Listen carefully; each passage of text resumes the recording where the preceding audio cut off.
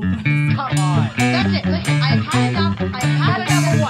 I'm going back. I have a fiance waiting for me at a hotel So you make love to me, and then you go back to your husband.